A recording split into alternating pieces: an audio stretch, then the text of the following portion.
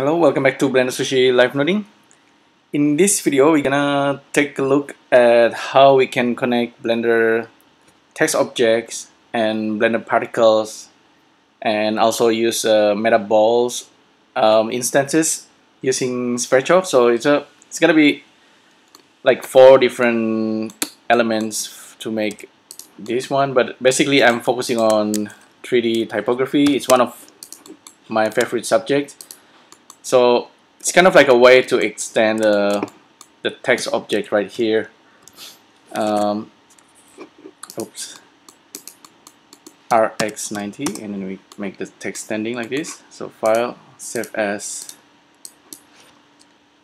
um, this is gonna be text particle metaballs.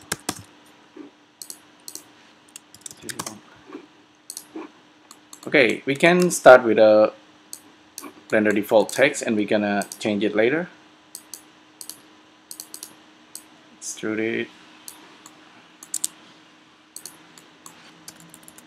Particles.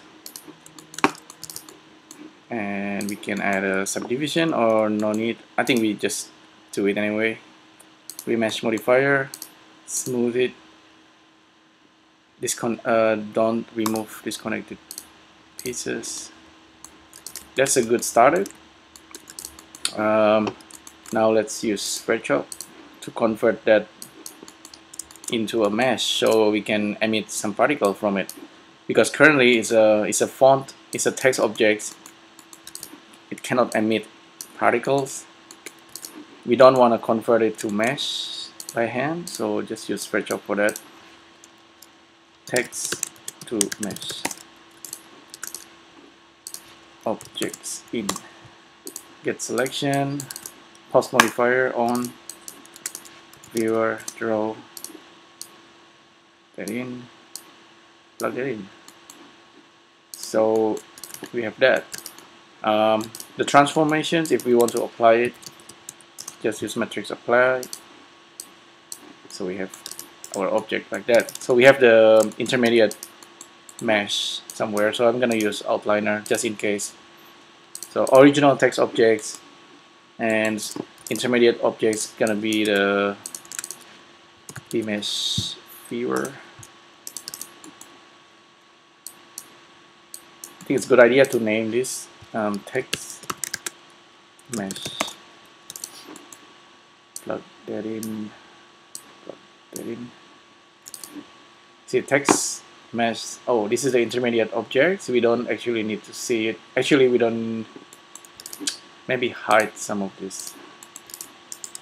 So this guy we're gonna quickly turn it into particles. How many particles? It's a for this one I'm gonna use volume actually and it's gonna be random. Even distribution yes. And have some more particles. Let's see how Blender handles 2000 um, metaballs. I have not tried this. Okay, it currently has simulations. We don't want the simulations. Just turn it off. Turn off the gravity. We're not gonna use the normal or anything. Okay, so now we're almost ready. Let's create a metaballs um, let's make this small super small. And let's see how this connects to the particles. Now if you run it it runs for few frames. So this guy is gonna be the instance. I have not tried this actually. Uh, let me if if I give a color to metaball what's gonna happen to the other guy. Material material number two, let's uh, make it single, um, make it unique. Uh, still red color. There's probably a way to make this a metaball like a kind of blending in color anyway let's use this big one and the small one. Small metaball and big metaballs um, let's try a small one first. Let's uh, use it as instance for our text object. We can turn off or oh, actually just leave it on. In the particles make sure the emitter is off. Now we're gonna use the metaball as our instance object the size currently is really really tiny but you can see it's starting to appear. Um, let's turn on only render. Now let's turn this to 8.8 the metaball start to react okay? This is the plan.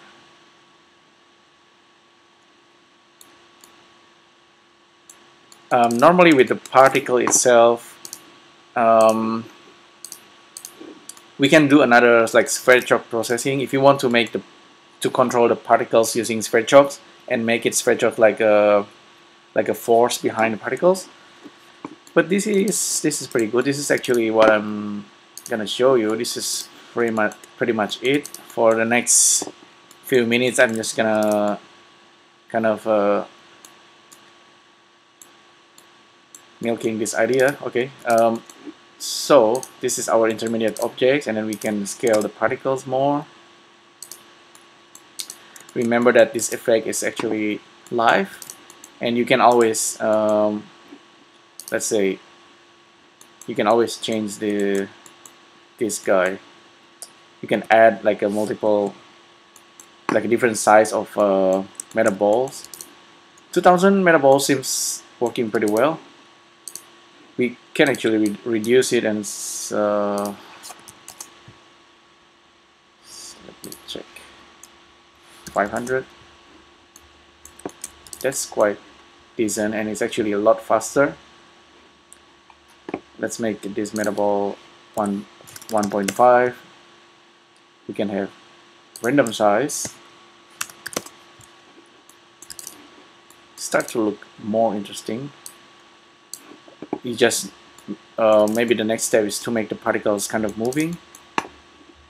Somehow um, if but for that we we might need to use force. Not gonna do that yet. Let's bring our text back. Uh, let's turn it on. You can change this to anything. Like uh, what should I write? Snail and update it. And it's gonna propagate and then we have our snail text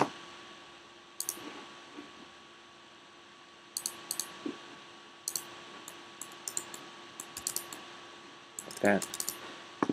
So that's pretty cool. Um, what if we also use a different metaballs like a capsule or ellipsoid? Capsule capsule might be a little bit heavier.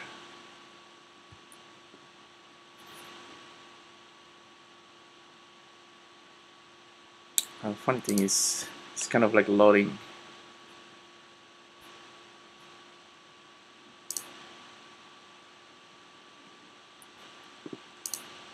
Maybe there's some weird thing happening. Gonna terminate that. Gonna reload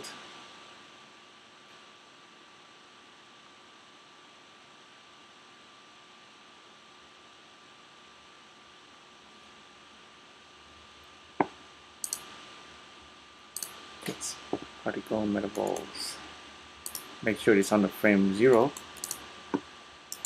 we don't need this big one.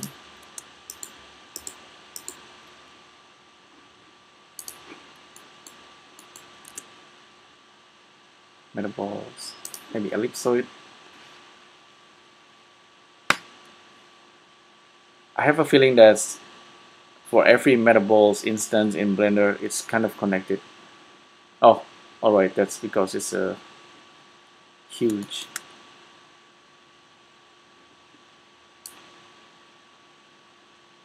hmm. scale it to point zero point one.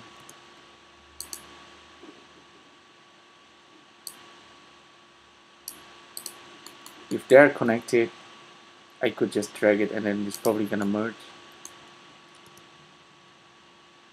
well it actually does quite interesting. So metaballs we can reduce the resolutions. It, currently it's like yeah that's a much much kind of a low res excuse me. Oh, excuse me. Back to our metaballs this should supposed to look like a capsule but uh, it's more like uh, nah, we probably don't don't need this guy. Gonna reset?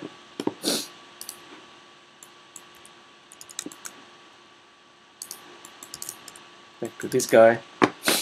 Now I wonder what should we do next? Um, we could actually this is the instance uh, we could we could bring this guy back into Sverchok uh, if I make it like super low res. Um, the particle is not moving at all.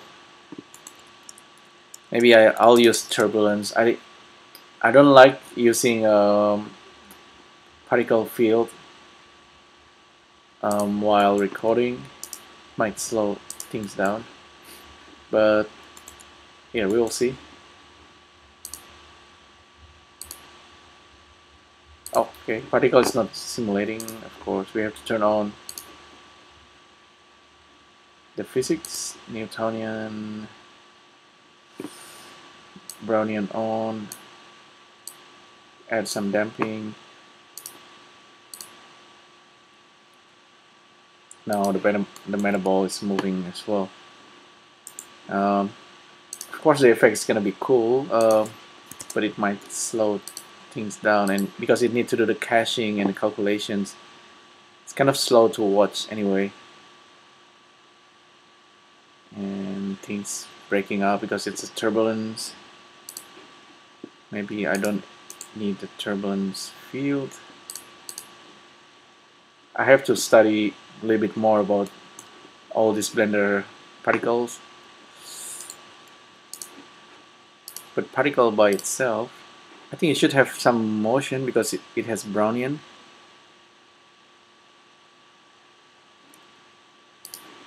But probably not as um, not as interesting.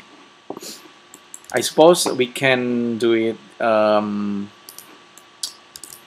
this way. I, I, okay I have an idea. Let's select our text bring our text back.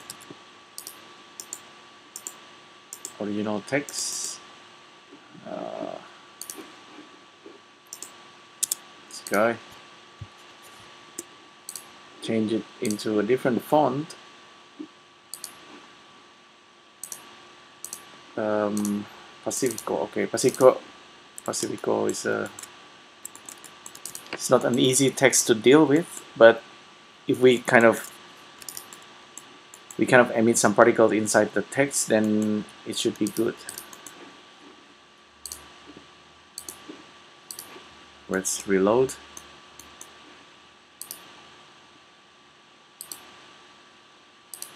Okay, our metaballs updates itself.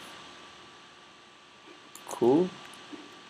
Now let's switch on render only. We might need more particles here. I'm gonna just turn off the physics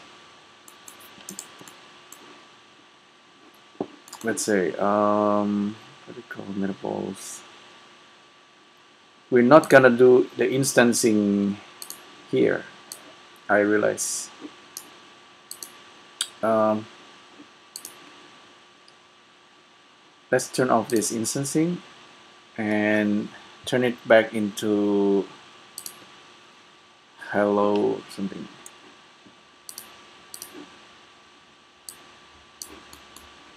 So we just have just the particles. The metaball should not be uh, the, uh, the metaball should not be there at the moment. So gonna increase this to 1000 should be like 1500 should be good. You can see that now the points are more connected. Random distribution yeah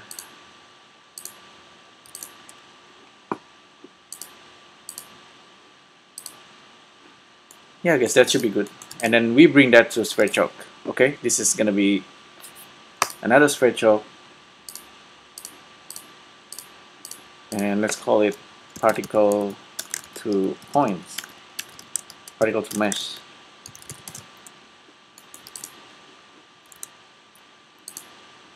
So with the particles selected objects in selection and then particle nodes. And then we're gonna output uh, some points. Image mk2 merge it. Because we don't want we don't want too many objects. We want a single object with many many points. Okay I believe we have it. Let's update Blender particles object. Let's use viewer draw. Yeah we should have it. It's called beta. Okay let's call beta. That's why. Okay now we have the beta objects. We have metaballs. We can now parent the metaballs into the beta objects. Control P. Now with beta objects we can duplicate and refresh.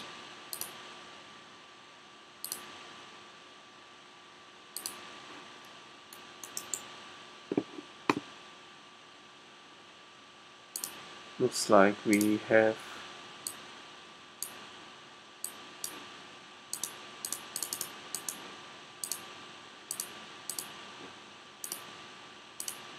we have nothing at the moment which is very interesting. Uh, the face group.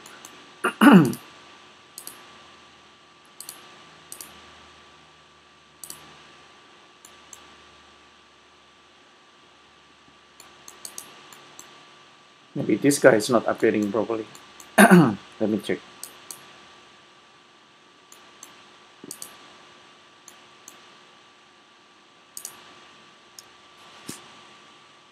let me stop the simulations.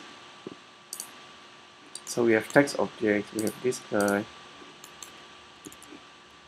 we have text mesh and then we have Sverchok Oh,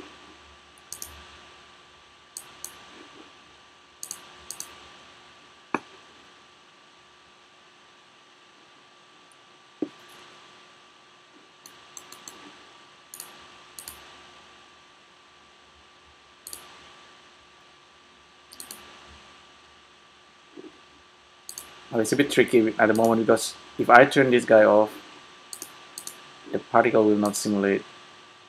If there is no particles, the Sverchok one will not work.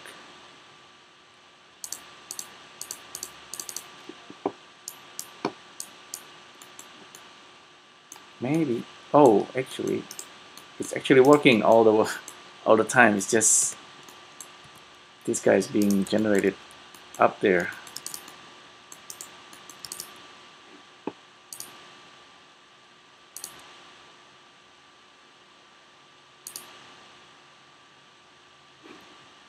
Yeah cool. It's actually working. Um, sorry about that. Randomize input vertices now we can actually control all, all the points using Sverchok which is pretty cool I guess. Um, this is like um, the particles um, the particles is used just to do the scattering of points inside um, the text object. And now if we just reduce this randomize the seed. And you see how interactive it is? Um, this is like um yeah. This is exactly what I want to show you.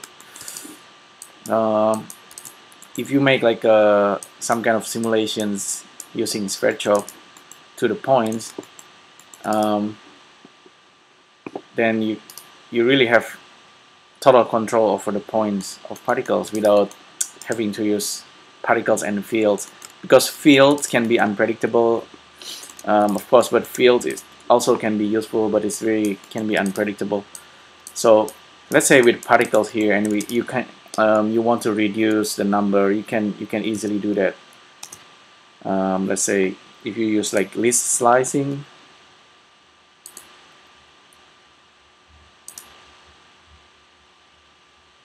Okay now we have only few particles. You can increase the number. See you have total control of it.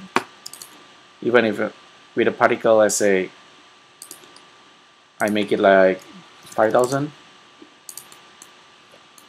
5000 remember this is like 5000 it's gonna be 5000 points but in Sverchok it's only reading like this number. You can increase it little by little and it's no problem at all to go up slowly. We cannot really control the uh, the metaballs I don't think. Oh just now it disappeared. Not sure why. Let me just play back. Oh because we're in edit mode sorry. Yeah, we cannot really control the size of metaballs. Um, oh, we, we, sort of could, um, but because the metaball is used as instance objects, so so it's a another different kind of uh, trickiness trickiness that you will encounter.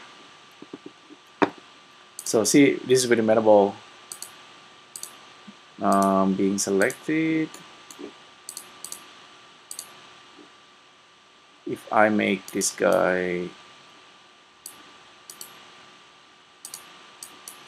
0.025 then it's gonna be thicker but this guy we can also play with the threshold. And we're gonna make it look nicer. But I think that's nice. We can read increase the resolution.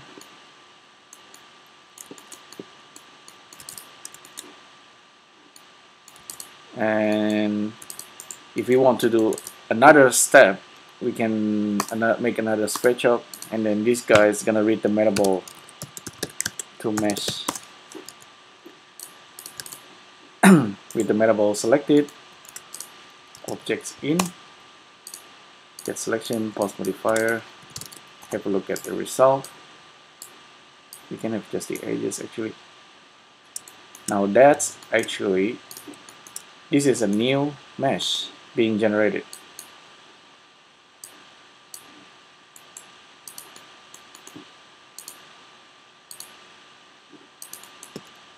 So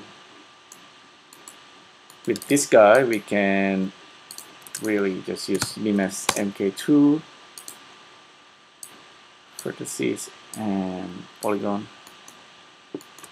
Now we have this new mesh and it's almost like okay you you have a new mesh here now and you can apply any one of these. Solidify subdivision uh, don't do skin maybe remesh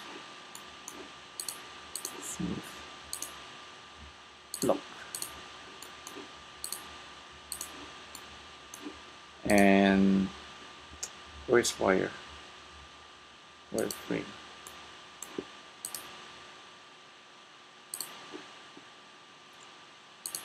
And you can further like uh, emit some particles from this guy. It's a like a lot of lot of things you can do. Because from this from this point on it's a it's pretty much mesh. And with mesh you can you can also bring it back to Sverchok you know.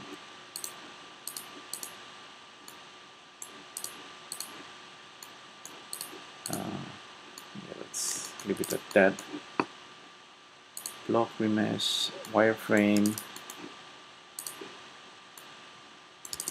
You can use displacement modifier it's always gonna work. And then but remember we can always go back to the original text.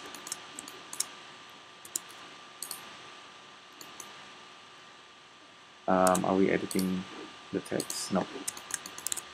Edit the text. Just write down blender. And then refresh. Let it processing and cal calculate. And then are we getting it? So we have snail there blender. Play back a little bit. And it updates itself. And then it updates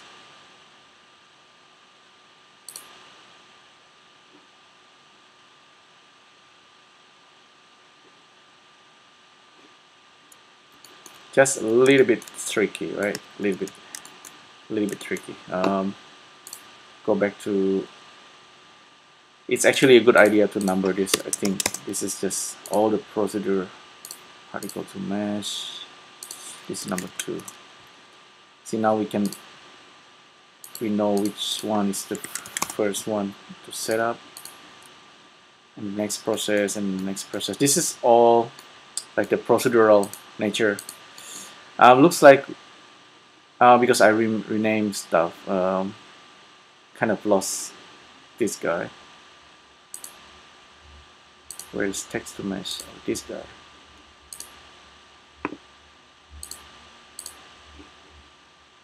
Get selection. And particle systems back. That's why it's kind of funky just now.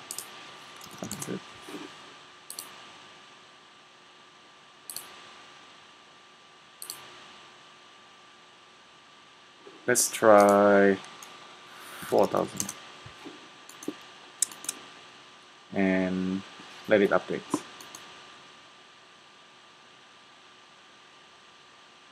Okay, cool, it works. And with this guy.